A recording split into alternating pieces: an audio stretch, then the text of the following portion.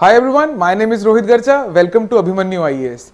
Abhimanyu IAS is a platform which prepares you for your UPSC and PCS examinations. It has more than 23 years of experience, has given more than 2200 results since 1999.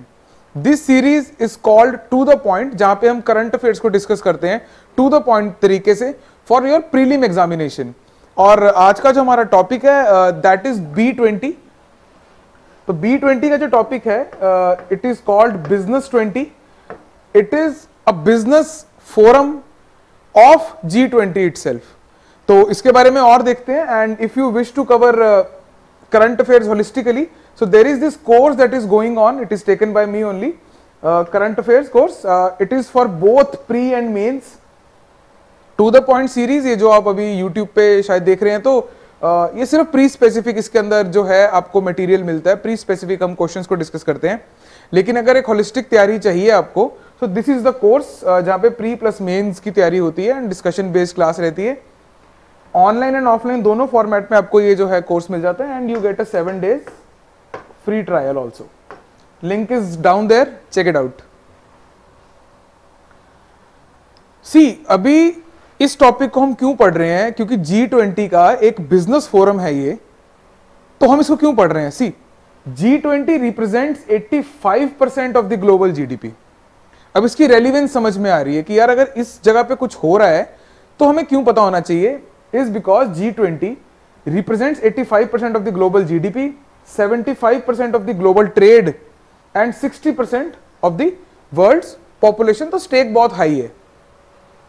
Moving on जो हमारा आज का topic है, अब इसमें जो सवाल बनेगा, वो थोड़ा सिंपल साइड पे ही बनेगा और कुछ इसमें ज़्यादा टफ है नहीं है, क्योंकि अभी जो हुआ है, वो बेसिकली डीपीआईआईटी है ना which is department for promotion of industry and internal trade ने एक कॉन्फ्रेंस करी है on B twenty Indonesia global dialogue अभी जी ट्वेंटी का जो हुआ था, वो इंडोनेशिया में आपको पता है कि जो लास्ट समिट हुआ था, वो जी ट्वेंटी का इंडोनेशिया में हुआ था तो न्यू दिल्ली के अंदर सी आई आई की पार्टनरशिप के साथ एक कॉन्फ्रेंस ऑर्गेनाइज करी थी विच इज़ कॉल्ड ये बी ट्वेंटी वाली, कि business twenty B in B twenty stand for business और इसकी जो नोडल मिनिस्ट्री है डीपीआईआईटी के ऊपर that is ministry of commerce and industry तो यहाँ पे थोड़ा कंफ्यूज नहीं होना है कि लेबर इंप्लॉयमेंट वाली है या दूसरी है, नहीं.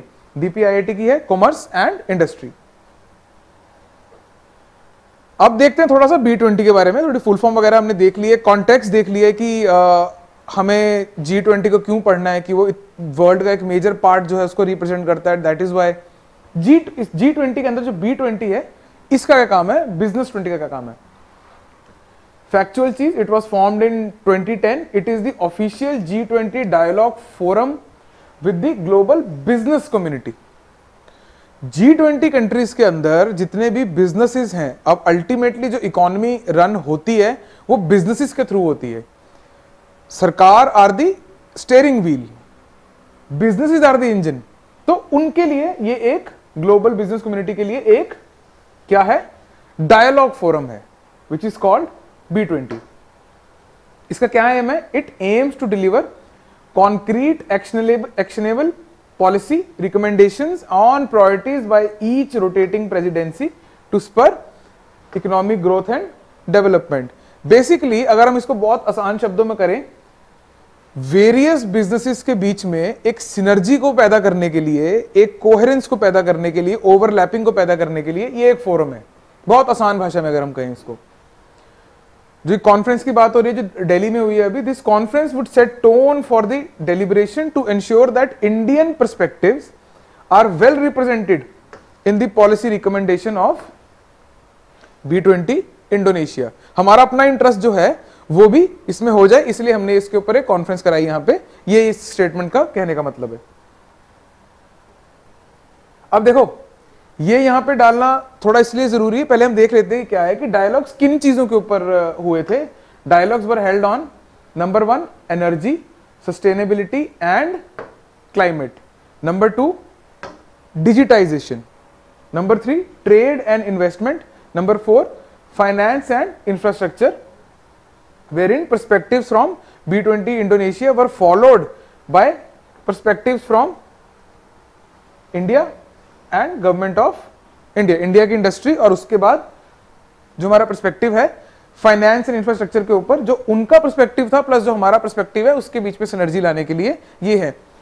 Why these four things are important is because these four things highlight की आने वाले पेपर के अंदर 2023 के पेपर के अंदर मेंस में और प्री में किन चीज़ों के ऊपर फोकस रहेगा। आपका पार्ट एज एन एस्पिरेंट यहाँ पे ये रहेगा कि इन सारी चीज़ों को पूरी तरह से समझ लेना है हमने कि डिजिटाइजेशन में इंडिया में क्या चल रहा है। क्या फ्यूचर के प्लान है, क्या हो रहा था वर्ल्ड के लीडर्स कौन है, उनमें क्या हो रहा है और कुछ रिलेटेड टेक्निकल टर्म्स ये इस टाइप की चीज़ें जब इस टाइप की रिपोर्ट्स में और कॉन्फ्रेंस में हाईलाइट होती हैं तो यही यही जो है आपका सिलेबस का पार्ट बन के आपके सामने वहाँ पे आपको क्वेश्चन इसके ऊपर देखने को मिल जाते हैं। इसका बहुत सिंपल सा एक सवाल है, वो देख लेते हैं अभी कि what explains B twenty the best बहुत इजी कैटेगरी में फॉल करेगा ये क्वेश्चन इन केस अगर आपको पता है। अदरवाइज़ ये it is non attemptable question अगर आपको इसके बारे में नहीं पता तो आप कुछ कर नहीं सकते। तो आपको छोड़ना पड़ेगा ये question then you have to leave it आप कर सकते हैं इसको ट्राई और pause the video I will move on explains B twenty the best number one it's a business forum under G twenty यही इसका आंसर है। और बाकी आप देख सकते हो कि कंफ्यूज करने के लिए वो कुछ भी आपको टेढ़ी मेढ़ी चीज़ इसमें बोल देंगे। और it is a target by ministry of trade to promote export by twenty percent अब लग भी रहा है कि ऐसा हो सकता है। तो इस टाइप की जो चीज़ें हैं, वो थोड़ा ध्यान रखना होता है क्वेश्चन को ध्यान से पढ़ें। And my name is Rohit Garcha this is to the point मिलते हैं एक नई वीडियो के साथ।